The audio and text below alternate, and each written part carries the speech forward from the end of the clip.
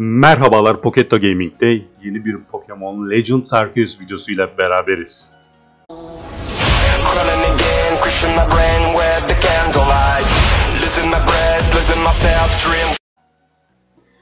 Evet, şimdi daha bir önceki videoda Hushin Pokemonlar ve Hushin Pokemon formlarından bahsetmiştik. Ee, orada yanlış bir tabir kullanmışım. Hemen onu değiştireceğim. Sonrasında fark ettim. Kusura bakmayın. Bütün Hushin formlar demiştik ama iki tanesi eksik arkadaşlar. O videoda iki tanesi eksik. Çünkü henüz benim Pokédex'imde de tamamlanmadığı için e, onları fark etmemişim. Şimdi onlardan da hemen bahsedip asıl videomuzun konunu, konusuna geçeceğiz. Şimdi Petilil Hushin formda Lilagent'e evrimleşiyor. Bunun için Sunstone'a ihtiyacınız var. Sunstone'u görev zincirlerinin birinde ödül olarak alabiliyorsunuz. Ayrıyeten Obsidian Fieldlands'in orta kısmındaki kamp çevresindeki alan yani o e, etrafı akarsularla çevrili olan kısımda Ursaluna ile koklaya koklaya bulma ihtimaliniz var. E, ben daha kolay bir metodundan bahsedeceğim. Çünkü ben Sunstone'u bu şekilde bir defa buldum. Sonrasında e, kapıya bakmam gerekirken e, oyunu durdurmayı unutmuşum ve e, vahşi bir Pokemon tarafından blackout edildim. Ve Sunstone envanterimden düşmüş. E, tekrardan Ursaluna ile bulamadım. Ama daha basit bir yöntemle bulabiliyoruz. Onu da size hemen bunun peşinden göstereceğim. Ursaluna bu e, Ursa sadece Hishu bölgesinde bulunan e, evrim formu. Bunun için de spesifik bir item'e ihtiyacınız var. Yine bu item'ı Obsidian Fieldlands'te bir noktada çok düşük ihtimalle ama aslında Cobalt Coastland ve Crimson Mirelands özellikle bulabiliyorsunuz. Ee, pek çok rehberde Crimson Mirelands diye geçer ama Cobalt Coastland ve Obsidian Fieldlands'te de bulma şansınız var düşük olsa da. Ee, Ursa Ring'e o eşyayı verdiğiniz zaman evrimleşiyor. Zaten şimdi onu da göstereceğim. Ee, bu evrim materyallerinin bazılarını bulmak zor arkadaşlar. Gerçekten zor. Çok uğraştırıyor. Yani e, ilk gittiğiniz o bölgeye girip de Ursa Ring'le ilk aradığınız şey bile çıkabilir. İki gün, üç gün harcarsınız hiç bulamayabilirsiniz bile ki benim başıma o şekilde geldi. Şimdi bakın bu gördüğünüz gibi Team Galactic'in ana binasının yanında şurada hoş bir ablamız var. Bununla konuştuğumuz zaman sana nasıl yardımcı olabilirim? Neye ihtiyacım var diyor. Pokemon takası yapacaksanız eğer lokal ya da network üzerinden I want to trade Pokemon diyorsunuz. Ama bizim ihtiyacımız olan şey I want to get items. Şimdi buna tıkladığımız zaman bakın burada evrim materyalleri var gördüğünüz gibi. Özellikle mesela şu link cord pek çok kişinin oldukça işine yarayan bir şey ki bunların bazılarını elde etmenin e, farklı yöntemleri de var. Şimdi Sunstone görüyorsunuz 1000 puan istiyor. Yukarıda sağ köşede MP yazıyor. Bende 1176 tane varmış. Bu merit point arkadaşlar. Siz Pokemon'u evrim geçirtmek istediğiniz zaman buradan bakın mesela Razor Claw gene e, ben bir sürü Sneasel yakaladım ama bir türlü bunu bulamadım diyen arkadaşlar için. Bunu bulmanın yolu şu. Şimdi nasıl göstereyim onu? Şöyle tıkladık. Bakın şu internet kısmına geldiğiniz zaman ilk seçenekte Lost and Found var. Burada belirli haritalarda blackout olup çantasından envanter düşürmüş arkadaşlarımızın listesi e, Lost Satchels diye geçiyor. Küçücük haritada rastlayabileceğiniz çantalar. Bunların nerede bulabileceğiniz de yazıyor bakın. Sağ aşağıda lokasyon olarak şu üst kısımdakiler Obsidian Fieldlands'te ve aşağıda da MP yazıyor. MP Merit Point yani siz bu Satchel'ı bulursanız sonra buradan gelip bu kadar Merit Point ödülünüzü alabiliyorsunuz. Sizin kaybettiğiniz Satchel'lar da var. Bende mesela yok şu an. İki defa ben kaybettim. Arkadaşlarım bulduğu için bana geri döndü. Ama o Sunstone'la olan geri dönmedi. buradan kolaylıkla ama kolaylıkla evrim materyallerini alabilirsiniz. Ayrıca ilk e, Noble Pokemon'u yendikten sonra, Clayvor'u yendikten sonra, sakinleştirdikten sonra burada Ginka Kuildi'nin böyle bir e, tezgahı var.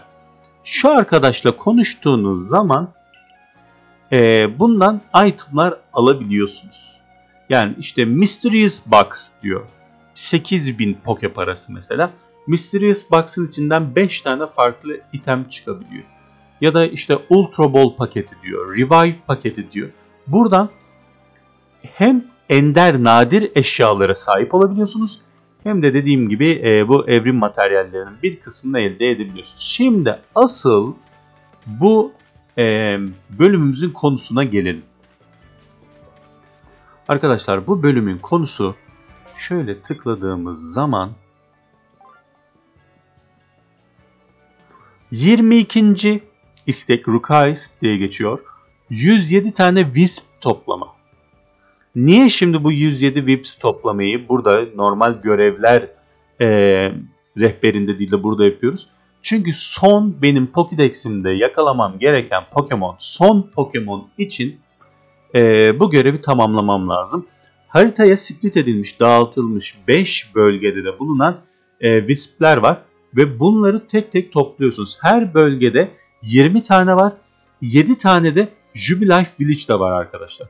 Bunların hepsini topladığınız zaman 5 Wisp'de ödül, 20 Wisp'de ödül, 50 Wisp'de 80, 100 falan diye böyle ayrıyeten ödüller alıyorsunuz. Buradaki görevin reward'un yani ödülünün dışında. Şimdi bakın benim burada topla işaretlediğim alanlar Jubilife Village'te sizin ee, bu Wisp'leri bulabileceğiniz yerler. Buradaki işaretlediğim alanlar ve bir adet de burada var. Gördüğünüz gibi. Toplam 7 tane. 7 tanesi Jubilife Village'de şu noktalardan bulabilirsiniz. Yalnız şimdi bütün lokasyonlarla ilgili size bilgiyi vereceğim. Bütün haritalarla. Tek video içerisinde bütün haritalardaki Wisp lokasyonlarını öğrenmiş olacaksınız. Baştan altını çiziyorum. Arada da hatırlatacağım çünkü benim de unutup ne oluyor ya dediğim oldu. Ee, bu görevi yapabilmeniz için geceliğin bu Wisp'leri avlamanız lazım. Siz geceliğin dolaşarak bu lokasyonlara giderseniz Wisp'leri görebiliyorsunuz. Ki yani geceliğin zaten çok bariz uzaktan bile seçilebiliyorlar, parlıyorlar. Şimdi 7 tane burada gösterdiğim yer var. Şurada da bir arkadaşımız var ki bize bu görevi verip Wisp'lerden bahseden şurada genç bir arkadaş. Ayrıca Vesa bundan tek tek Wisp'lerin e, kademelerinin ödüllerini de alıyoruz. Ben ilk ödülü aldım. E, yani bu Vesa ile konuşurken, görevi yaparken görev zincirinde normal veriyor ona. Sonrakileri şimdi sizinle birlikte alacağım. E, 107 Wisp'i de toplamışsın. Teşekkür ederim. E, 10 Wisp için Rare Candy verdi. 20 Wisp için Seed of Mastery verdi. 30 e, Wisp için Duskstone. Experience Candy Large. Linking Cord. 60 için Grid Pebbles bu Pokemon'unuzun statlarını, IV'sini arttırmanız için. 70 tanesine Reaper Cloth. 80'e Seed of Mastery. Şu Seed of Mastery de yani neye yarıyor acaba çok merak ediyorum. 90'a Experience kendi X Large. 100.ye 3 Grid Rock. Grid Rock bu arada iyi. En yüksek olanı. Şimdi son bir şey daha yapmamız lazım. Bu konuda bana yardımcı olur musun dedi. Biz tabi gidip Crimson Mirelands'te bir e, harabeler var. Orada ona yardımcı olacağız. Ama öncesinde ben size lokasyonları göstereyim.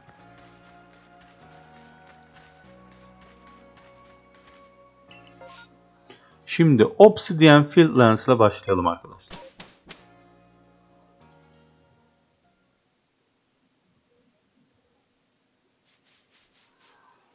Haritaya tıkladığım zaman şu pokitopları görüyor musunuz? Bu pokitoplarını geceliğin ziyaret ettiğiniz takdirde Wisp'leri bulabilirsiniz. Yani E, isterseniz ekran görüntüsünü alın, isterseniz videoyu durdurun. Fark etmez. Wisp'ler 20 Wisp Obsidian Field Lens'te bu lokasyondalar. Bakın şu çantalar var ya işte bakın bunlar da satchel'lar. Bunlara gidiyorsunuz aldığınız zaman merit pointleri bundan topluyoruz. Her haritada genellikle 3 ya da 4 tane oluyor onu söyleyeyim. Seri şekilde toplayabiliyorsunuz. Yani bütün haritaları bir defa geçseniz zaten 1000 merit point'i geçersiniz. Obsidian Lens'teki Wisp noktaları bunlar.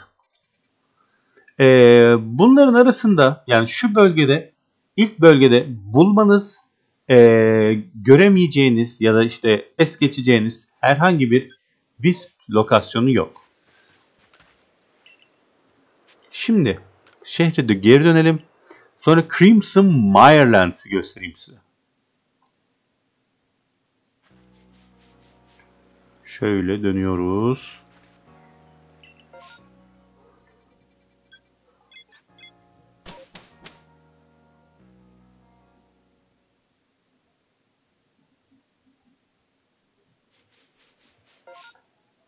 Şimdi buradaki poki toplarını görüyor musunuz arkadaşlar?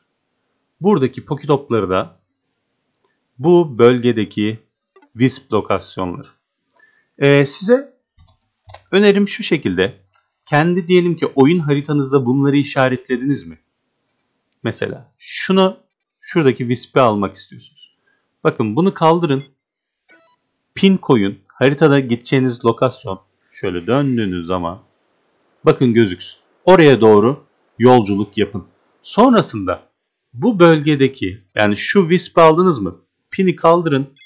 Buraya mesela yıldız koy. Yani bunu aldınız. Hani topladığınız wispleri işaretlemiş olursunuz. Bu şekilde hangisini almıştım hangisini almamıştım diye aklınız karışmaz. Yani bunu şiddetle tavsiye ederim çünkü ben bir bölgede bunu yaşadım e, gereksiz yere uzun uzun o bölgede vakit geçirmek zorunda kaldım. Buradaki wisp lokasyonları da çok bariz belli arkadaşlar. Geceliğin o wispler ampul gibi parlıyorlar. Dolayısıyla gözden kaçırma şansınız bu bölgede de yok. Şimdi Cobalt Coastland'e gidiyoruz.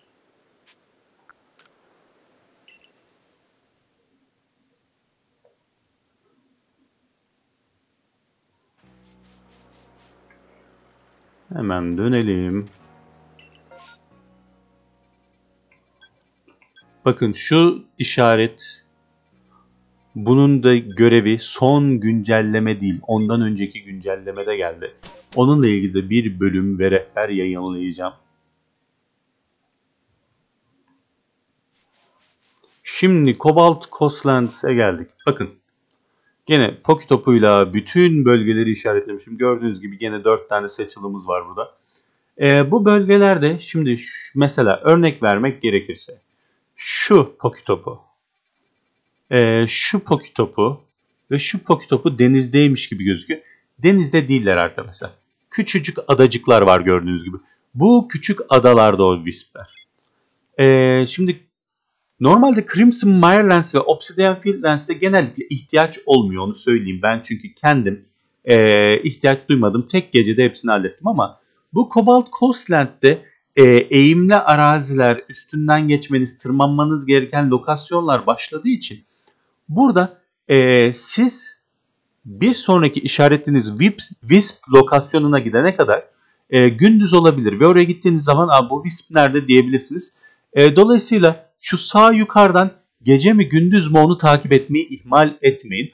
O önemli bir detay çünkü e, ben yani buraya ilk geldiğim zaman şu, şu sonuncu bölge, şu üçlüyü sona bırakmıştım. Geziyorum geziyorum bir türlü bulamıyorum. Meğersem gündüz olmuş. Onun dışında bunların hepsi dediğim gibi gene görünüyor. Şimdi benim bu işaretlediğim lokasyonlar tam nokta atışı olmayabilir. Oraya gittiğiniz zaman benim tavsiyem early game'de ana hikayeyi bitirmeden önce Wisp'leri toplamak için uğraşmayın. Boşu boşuna gereksiz efor sarf etmeniz gerek. E, yani Bravery ile uçabiliyor olmanızı tavsiye ederim. Ben Bravery ile uçarak bütün bölgeyi şöyle aşağı yukarı aşağı yukarı taraya taraya hepsini tespit ettim. Burada e, Bravery ile uçarken tepeden parlayan Wisp'leri çok rahat görüyorsunuz. Diğer türlü yani Vader'la işte e, Snizzler'la falan çok uğraşırsınız. Dediğim gibi size şiddetle tavsiyem Bravery'e sahip olduktan sonra bu lokasyonların peşine düşün. Şimdi Cobalt Coastland'imizde burada gördüğümüz kadar. Ee, şimdi asıl son iki bölge birazcık trik. Yani trik derken ne demek istiyorum? Birkaç tanesinin lokasyonu ee, biraz saklanmış durumda. Onları göstereceğim. Şimdi Coronet Highlands. Şöyle gelelim. Burada iki Wisp mağarada arkadaşlar. Yani e, mağaradaki spesifik lokasyonlarını ben size göstereceğim. Şimdi şöyle bakın. Bütün ama bütün yerler işaret. Pokitop ve şu maden işaretlerinin hepsi Wisp lokasyonları. Ben e, bu bölgeyi topladım. Şu bölgeleri toplarken topladıklarımı işaretlemek için karışır diye maden simgesine çevirdim. Deminden size gösterdim. Beri yerine maden. Bakın şimdi şurada iki tane var ya. İşte bu iki tane biraz ilginç. Şunun ilki çünkü mağaranın içinde. Şimdi ben o mağaranın içindeki Wisp lokasyonunu doğrudan size göstereceğim. Bulması oldukça kolay. Tek bir yönde hareket ediyorsunuz.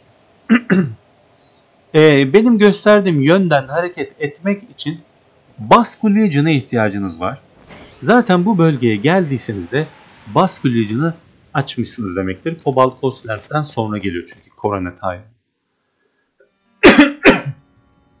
Bakın mağaraya girdik. Yol ikiye ayrılıyor. Sağdan gidiyoruz arkadaşlar. Yol ikiye ayrılıyor. Sağdan gidiyoruz. Gene sağdan. Gene sağdan. Zaten şu ateşleri takip ettiğiniz zaman çıkacağınız yer burası. Ateşleri takip etmeniz yeter. Şimdi şu yukarıda kocaman bir boşluk var ya. Oradan geçmek zorunda filan değilsiniz. Bakın. Basque Legion haydi. Şimdi Basque Legion'la hemen şu mağaranın bu kısmına girdim. Vimkeş, Mimkeş hepsi o. Bakın şu karşımdaki boşluk var ya. Bu mağaradaki Wisp burada. Şu Alfa ee, hop, Krobet'in olduğu yerde arkadaşlar. Şimdi tekrardan dışarı çıkıyorum. Alfa Krobet'in olduğu yere gelirseniz sağ köşedeki cepin içerisinde Wisp'i bulabilirsiniz. Şimdi ikinci lokasyonumuzsa şu Ancient Quarty'de olması lazım. Ee, şöyle bir pin koyayım ben oraya.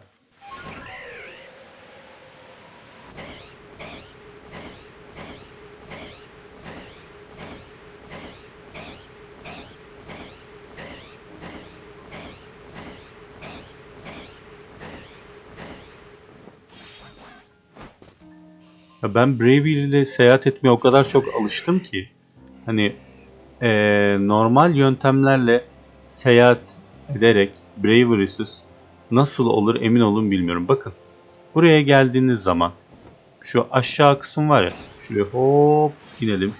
Parasek var arkamıza dikkat. Şimdi şu önümüzdeki sütunları görüyor musunuz? Şu önümüzdeki ilk ikili şu hemen üzerine çıkacağım. Şuraya. Şu üzerine çıktığım yerde arkadaşlar.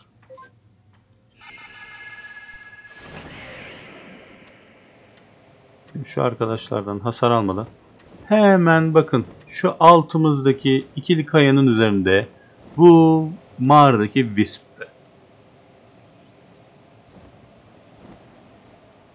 Şimdi şimdi şimdi in aşağı.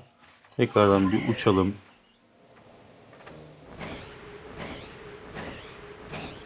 Bir hedeften çıkalım da. Evet. Bu bölgedeki bütün Wisp lokasyonları da bunlar. Dediğim gibi bulması oldukça kolay. Hani size şiddetle gene hatırlatmak istiyorum tavsiyem.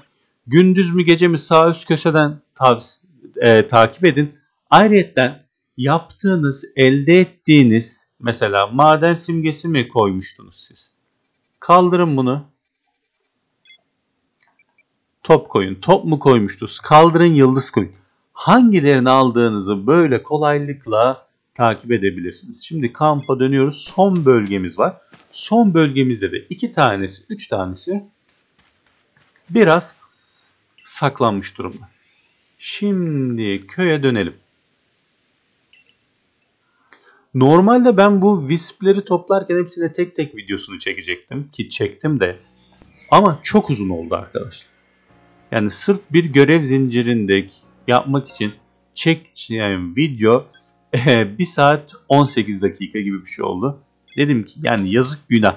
Bu kadar olmaz. Bu kesilmiş hali bu arada. Kese kese yaptığım hali. Tam lokasyonlarını göstermek için. Ee, dolayısıyla haritada işaretleyip bu harita üzerinden sizin takip edebileceğiniz şekilde yapmayı e, daha mantıklı buldum. Bakın şimdi burada lokasyonlarımız gene var. Bu lokasyonlardan e, nerede? Şu olması lazım. Hemen ona doğru gidelim. Evet olması lazım. Şuraya ben bir pinimi koyayım.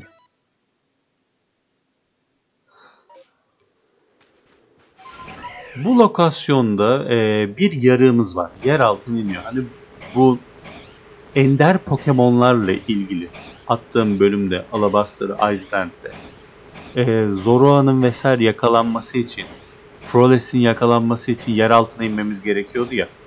İşte burada da e, bu ihtiyacımız olan Wisp'i bulabilmek için yer altına inmemiz gerekiyor. Şurada çukurumuz var gördüğünüz gibi. Buradan aşağı atlayalım. Hop. Bu da benim taktiğim. Şimdi standlara biniyoruz arkadaşlar. Bakın mağaranın içinde ilerlediğiniz zaman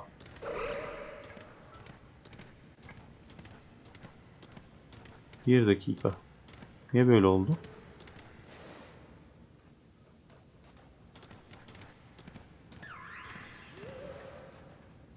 Burası yanlış mağara. Pardon çok yanlış geldik. Hemen hemen uçalım.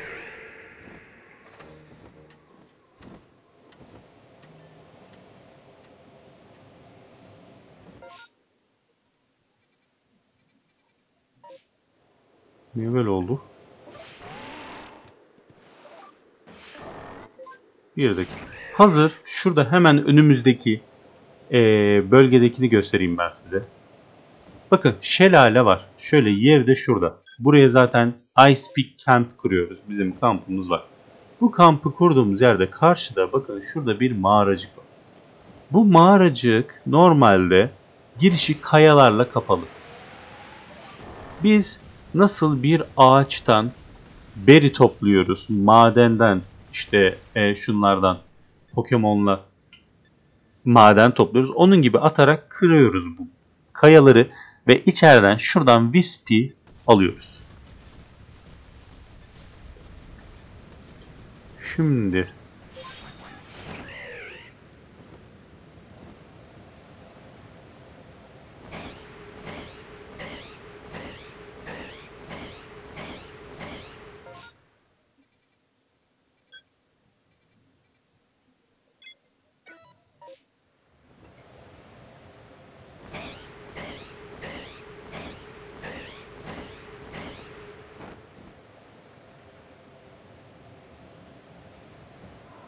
Şuradan içeri gireceğiz. Hop. Çok kötü düştük. Bu sefer taktik işe yaramadı. Stantler. Şimdi ilerliyoruz arkadaşlar. Buradan sola dönüyoruz. Şu sütunları görüyorsunuz ya. Bu sütunlardan hemen bakın şuradan tekrardan sola dönüyoruz. Burada solda döndüğümüz yer bakın şu madenin şu olduğu yerde şu noktada Wisp var. Şimdi biz buradan saldırıya maruz kalmadan çıkalım. Mağaraya giriyorsunuz. Sola dönüyorsunuz. Bu arkamızdaki sütunları görünce tekrar sola dönüyorsunuz. Ve Wisp'i alıyorsunuz. Şimdi şuradan kazasız belasız bir çıkalım birlikte. Hop çıktık tamam. Burada şöyle baktığım zaman ee, bir tane daha bulması biraz zor olan Wisp var. Ee, normalde aslında pek çok kişi bunu görmüştür. Yani normal hikaye zincirini oynarken görmüştür. Ama görmemiş olan arkadaşlarımız ya da fark etmemiş, unutmuş olan arkadaşlarımız için ben tekrardan göstereceğim. Şimdi şöyle bir yukarı tırmanalım. Tam da kötü yerden tırmanmışız. Sürekli duruyor. Hmm. Snow Point Temple arkadaşlar. Hani bu Regi Gigas'ı yakaladığımız tepesinde Bravery'nin uçtuğu yer.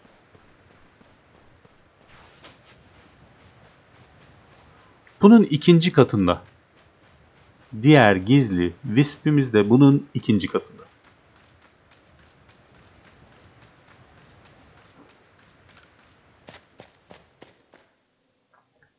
Snow Point Temple'a giriyoruz. Burada bronzonglar var. Dikkatli ilerlemek gerekiyor.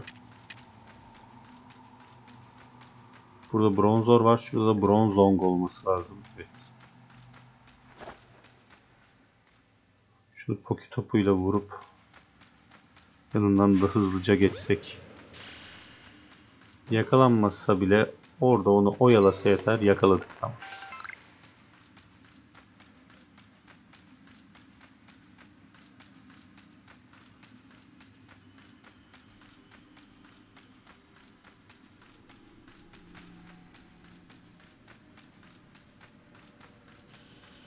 Yukarı çıktık. Şimdi şuradan dönüyoruz. Bu bölgeye geldiniz arkadaşlar. Bakın şurada bir boşluk var. Buradaki Wisp'in lokasyonu da bu. İkinci kata çıkıyorsunuz. Hemen bakın şurada diğer arkadaş. Yani her geçtiğiniz kapıdan şu kapı her geçtiğiniz kapıdan sonra solda küçük bir cep var mı diye bakmanız yeterli. Bu oyunda da en der sevdiğim şeylerden biri nerede olursanız olun kolaylıkla seyahat edebiliyor olmanız. Şimdi bütün Wisp lokasyonlarını gösterdim. Bakın. Bütün Wisp lokasyonları. Burada 20 tane var. Her bölgede 20 tane var. Jubilife Village'de de 7 tane var. Ama bizim bir taneye daha ihtiyacımız var. Yani görevde öyle yazıyor. E, ne yapacaktık? Biz genç arkadaşımızla Crimson yok Crimson Mirelands'te mi? Crimson Mirelands'te tabii. Crimson Mirelands'teki e, harabelerde buluşacağız. Ki görev zincirini bitirelim.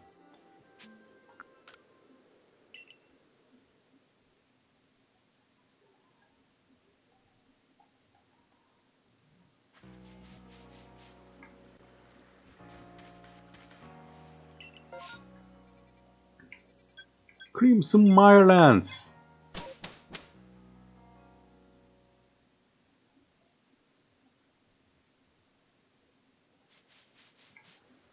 Şimdi Solation Ruins. Bizim gitmemiz gereken yer bu. Diamond Settlement'ın da yanında aslında. Oradan daha kolay gidebilir miyiz? Yok buradan uçacağım.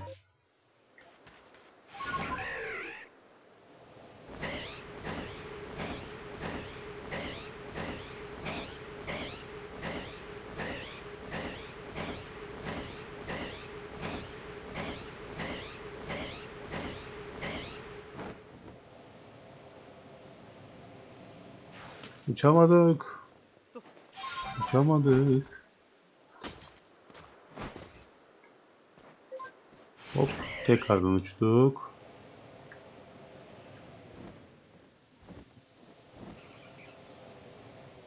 Neredeyiz? Aslında geldik sayılır. Şuralarda bir yerlerde. Diamond Settlement'a geldik ya. Şu yukarı çıkmamız lazım.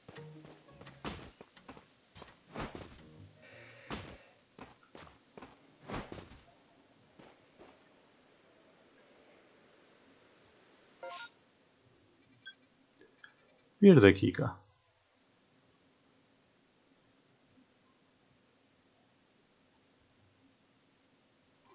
Shrouded Ruins'e gideceğiz ya.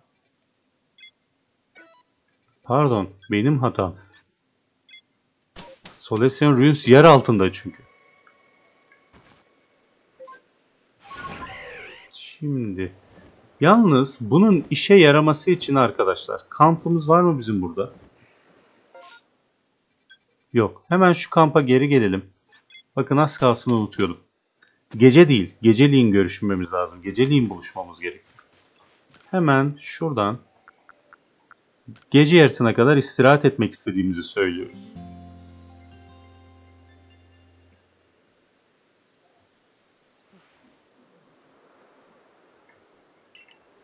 Evet gece yarısı oldu. Hemen şu Brava Arena'ya da uçalım. Bu bizim e, buradaki şeyle karşılaştığımız, Lilagent'le karşılaştığımız yer. Hop. Gece oldu. Hemen şu harabelerin sonuna doğru gideceğiz.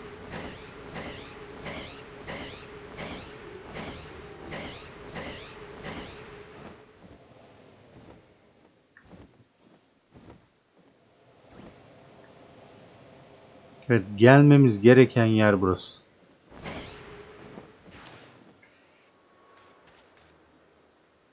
Bakın buraya geldik. Vessa da şimdi geliyor.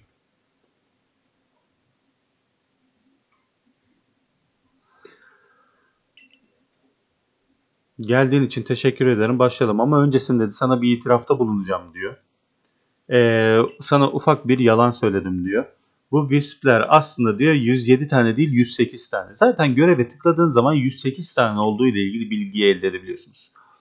Ee, lütfen diyor sendeki Wisp'leri şu ot keystone'un içine koyar mısın? Peki koyalım. Peki e, benim hakkımda ne düşünüyorsun ama diyor. E, sen ilginç bir tanesin.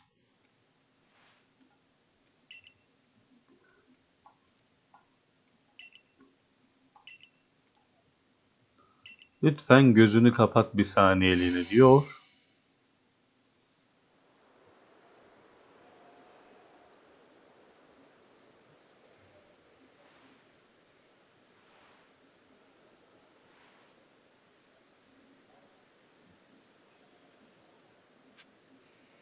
Son Wisp de kendisi miymiş? Bu Wisp'e de dokunduk. Bu arkadaşı da aldık. 108 tane oldular arkadaşlar. Sonunda 108 tane. Old Keystone ee, disappeared derken ee, kız hayal etmiş. Strange bir Pokemon geldi diyor. Spiritomb. Şimdi hemen şöyle yapıyoruz tabii ki. Şuradan bir save yapalım.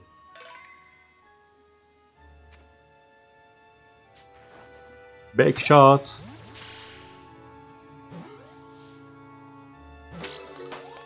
Tek de yakaladık. Backshot'la çok iyi oldu. Ve şöyle gelelim. Nerede? Spiritomb 60 level.